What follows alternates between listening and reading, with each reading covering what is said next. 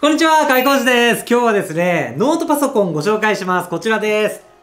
じゃーん CHUWI の CoreBook X Pro というものです。かなり安価なノート PC なんですけど、結構使えそうなんでご紹介していきたいと思います。 CHUWI というメーカーなんですけど、こちらは、10万円を切るパソコンのラインナップが結構充実していて、えー、CoreBook はですね、CoreBook X という14インチのモデルと、Core X Pro という14インチのモデルがあるんですが、これは最近出た 2way CoreBook X Pro という15.6インチのノートパソコンになります。外観見ながらスペックちょっとで説明していきましょう。まず、ダーン、綺麗ですね。アルミの筐体になってます。質感かなりいい感じですね。高級感がある感じ。これね、実売価格6万円台なんで、かなりお安めなんですけど、結構高級感はあります。なんか横に赤いラインが入ってて、ちょっとゲーミング PC チックな見た目になってますね。はい。厚みもそんなないです。えー重さとかサイズはちょっと後でね、説明しますが、背面こんな感じになってます。えーメモリーと SSD のところに蓋がついていて、自分で増設したりすることができるみたいです。ガバッとね、開けてみましょう。よいしょ。フル HD のディスプレイになってます。ノングレアですね。光沢なし。で、ベゼルはこんな感じ。まあまあ狭いかなっていう感じですね。横は結構狭い。ここはちょっとあるかなって感じだけど、ウェブカメラがついてますね。なかなか細めのベゼルでいい感じじゃないでしょうか。キーボード見てみましょう。キーボードは US 配列になってますね。US キーボード。テンキーがついてるんで、テンキー使いたい方は嬉しいですね。結構、15.6インチのノートなんで、キーボードとキーボードの間はしっかりとスペース取れてるのかなっていう感じですね。パッドはね、かなり大きめ。使いやすそうです。電源ボタンがここにあります。こちらの CoreBook X Pro は Windows 10搭載で、CPU が Intel Core i5-8259U を搭載してます。第8世代の Core i5 になります。第8世代だと、まあちょっと前っていう感じですよね。現行は11世代になってます。ストレージが 512GB の SSD が搭載されていて、メモリーが 8GB、ディスプレイは15.6インチの IPS 液晶で、解像度がフル HD1920×1080 になってます。とまあこんな感じなんですが、えーあと細かいところはサイト見ながら説明していきます。ちなみにアダプターは、こちら、19V×3.49A、65W のアダプターになってます。アダプター結構コンパクトなんで、これは結構嬉しいところですね。じゃあサイト見ていきましょう。こちらが 2way Chromebook X Pro のサイトになります。150.01ドル以上の注文で、ほとんどの国で DHL の送料無料になるそうです。こちらのパソコンは日本円で61,566円になってます。インテル Core i5-8259U で 2K のディスプレイで、インテル Iris プラスグラフィック655入ってますね。独立した GPU は入ってないんですけど、最近インテルの Core i シリーズの CPU には一応こういったグラフィックのチップが入ってるんですね。で、まあがっつりした 3D のゲームとかは無理だと思うんですけど、軽めのゲームとか、ちょっとした編集だったら対応できるかなという感じなんで、それも後で試してみましょう。ちょっと編集ね、やってみたいと思います。で、8GB の RAM でしょで、8GB のメモリ、それから 512GB の SSD 搭載です。この赤いラインがちょっとゲーミングっぽいって言ったんですけど、こうやって写真見るとかっこいいですね。結構オフィスで使ったりカフェで使ってもまあ良さそうなデザインはしています。シンプル。あ、デュアルファン搭載してるんですね。CPU が熱くなると処理が遅くなってくるんで、ファンが強いとすごくいい感じですね。インターフェースが結構充実してるみたいなんで、後で紹介していきましょう。IPS 液晶見やすいですよね。15.6インチで大きいです。解像度はフル HD なんですが、6mm の、6mm のディスプレイの薄さは嬉しいですね。アスペクト比が16対9。視野角は178度。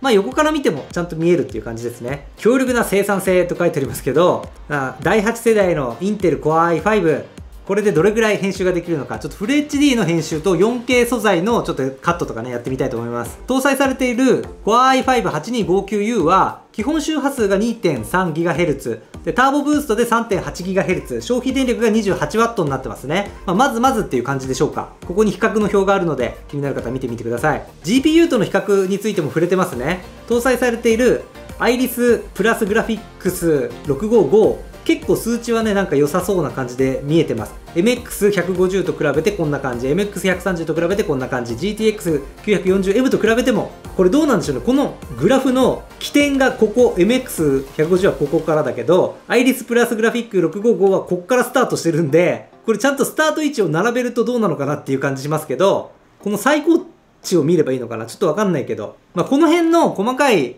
ベンチマークとかは、いろいろね、比較してるサイトがあるんで、見てみたらいいと思うんですけど、まあ体感的にどれぐらいで編集できるかなっていうところは気になるところですね。いろいろとサポートされているゲームあります。まあ、この辺のゲームだと、まあ、ちゃんとプレイできるよみたいな感じですかね。ここにフレームレート書いてありますね。 frame per second 1秒間に何コマ描写できるかっていうことが書いてありますが、まあ、ゲームの重さ軽さ、3D グラフィックスの負荷にもよると思うんですけど、まあ、大体こんな感じになってるみたいです。なんかファン結構良さそうですね。デュアルファンついてるんで、熱分散効率がいいと CPU の処理も速くなるので、ここは嬉しいところ。自動速度調整が4段階であるみたいですね。8GB のメモリー。ここはね、正直 8GB だと、まあ編集やるにもゲームやるにもちょっと心もとないかなって感じなんで、増設できるんだったら16ぐらいは必要かなっていう感じですね。欲しいなと思いますけど。まあ、裏開けて変えられそうなんで、ここはちょっと気が向いたら増設しようかなと思います。SSD512GB 入ってますね。これについてはまあ扱うデータによって、まあ個人差あると思うんですけど、まあ、512GB あったら、まああんまり僕は困んないかな。1テラあると結構いい感じですね。まあメインで使ってるノート PC は、えー、増設して 2TB の SSD 入れてるんですけど、まあ、ちょっと使う分には 512GB で十分かな。まあ、ただ写真とか動画素材とかいっぱい保存したいとか編集したい方は、まあ、1TB 以上はあった方がいいかなと思います。で、SSD なんで読み込み、書き込みかなり早いです。クリスタルディスクマークで SSD の書き込み読み込みの速度測ったんで後で共有したいと思います。あ、出ましたね。裏に蓋がついてて、簡単に外して、メモリー、それから SSD の交換ができる。これはね、結構嬉しいですよね。裏を全部開けなくても手を入れられるのはいいですね。簡単な DIY ノートパソコンのアップグレード。うん、これは嬉しいところ。軽金属ボディとビジネススタイルの美学。見た目ね、洗練されててかっこいいですよね。航空機グレードのアルミニウム合金で作られてるんですね。ボディの厚さが 17.9mm、重さは 1780g になってます。まあ 2kg 切っていて、持ち運ぶことはできるけど、頻繁に持ち運ぶにはちょっと辛いかなっていう感じですね。ただいざとなったら持ち運んで使えるっていう感じですかね。僕のメイン PC もこれぐらい、同じ 1.8kg ぐらいなんで、それは結構持ち歩いてるんで、まあ、僕は慣れてますけどまあやっぱり持ち歩いてカフェで使うとかっていうことを想定すると1キロとか1.2キロとかだったらいいかなっていう感じはしますけどまあ持ち運べない重さじゃないと思います画面の開閉は125度までパカッとこの角度まで開くことができます内蔵デュアルステレオスピーカーは包み込むようなサウンド体験とリアルなオーディオ再生を提供しますとあるんで、まあ、これも後でねちょっとね聞いてみましょう 1.5W なんで音量はそんなに大きくないと思います。内蔵バッテリーは 6060mAh で 69.99Wh のリチウム電池入っていて90時間の長時間スタンバイ6時間の連続稼働ができるそうですね。フルサイズのキーボードとタッチパッドタッチパッドもキーボードも余裕があって使いやすいと思います。でバックライトも搭載してるんですね。光らせると白く光ります。バックライトは調整可能だそうです。トラックパッドね、すごく大きいですよね。豊富なポートとシンプルなワイヤレスインターフェース。Wi-Fi は 2.4GHz、5GHz 帯対応しています。Bluetooth は4.2。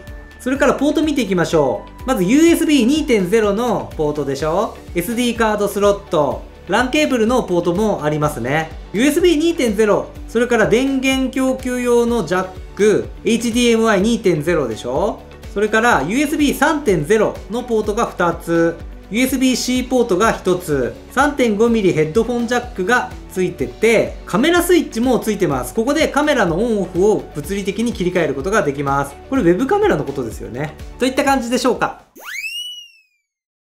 さあそしたらですね起動してみましょう。もうセットアップは済んでます。えどれぐらいの速度で起動できるかちょっとね、見てみましょうか。電源ボタンとストップウォッチ同時に押しましょう。せーの。さあ、どうかな？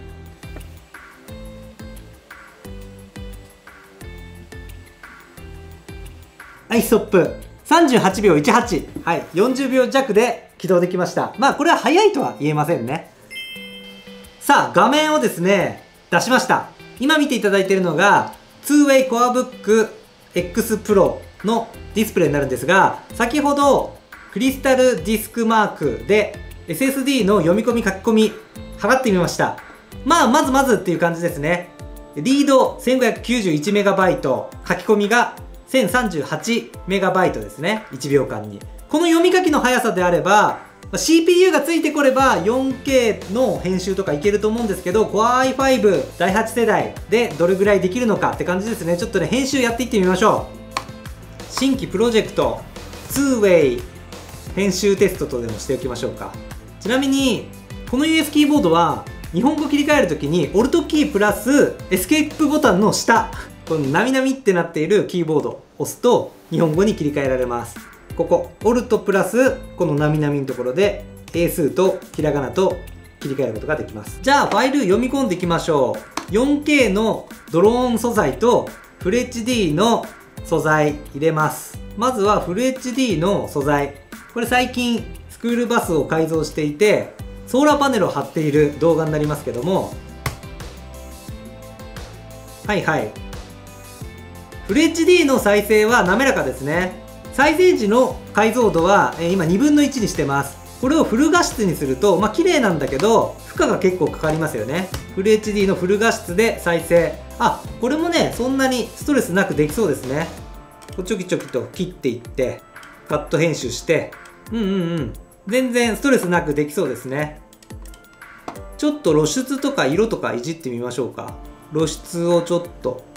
上げてハイライト下げて色温度上げてサイドを上げ気味に。でシャープちょっと上げたりしてこれでちょっと再生してみましょうか。再生。あ全然いける。フル HD なら、まあ、ちょっと今カクつきは少しありますけどうんうんうん。エフェクトかけてないところははいフル画質で全然問題なく、まあ、カットとか、え色温度とかねその辺の画質調整は大丈夫そうですね。これにまたちょっとトランジションとか入れると少し重くなってくるかなって感じだと思うんですけどクロスディゾルブとかね入れると。あでも全然おお全然大丈夫。簡単なねこの場面転換とか、ま、それぐらいだったら全然大丈夫ってことですかね。ちなみにテロップとかね入れてみましょう。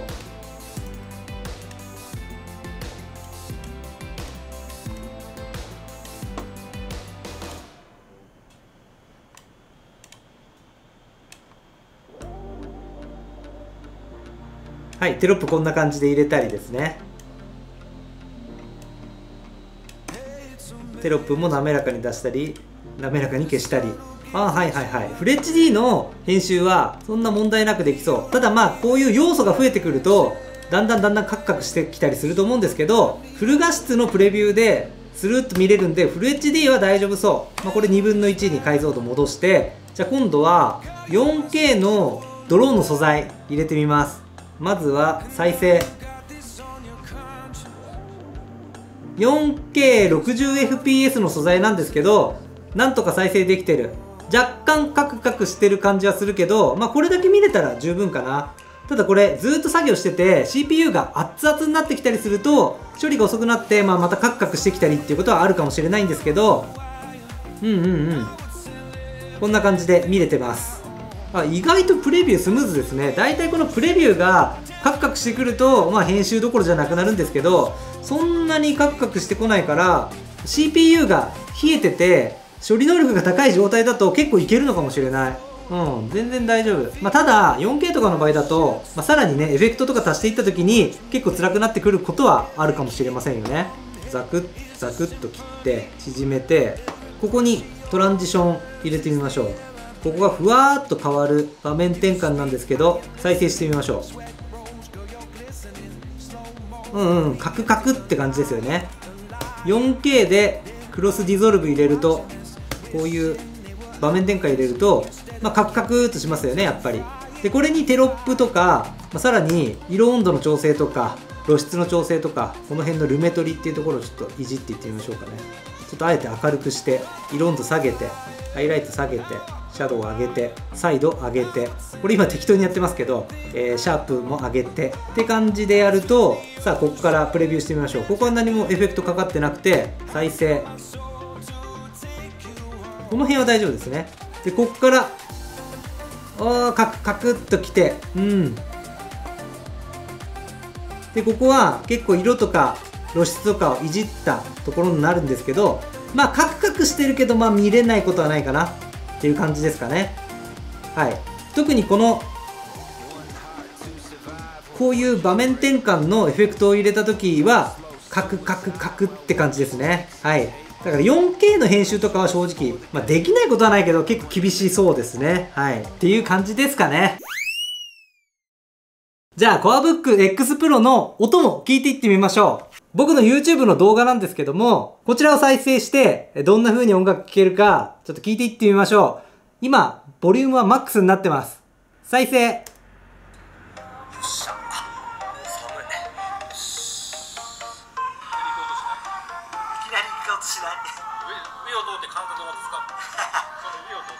声も入ってますけど、どうかな？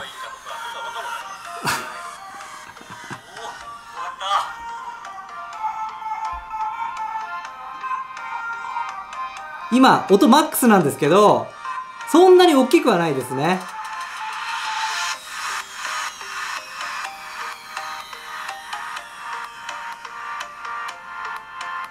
低音もそんなにない感じ。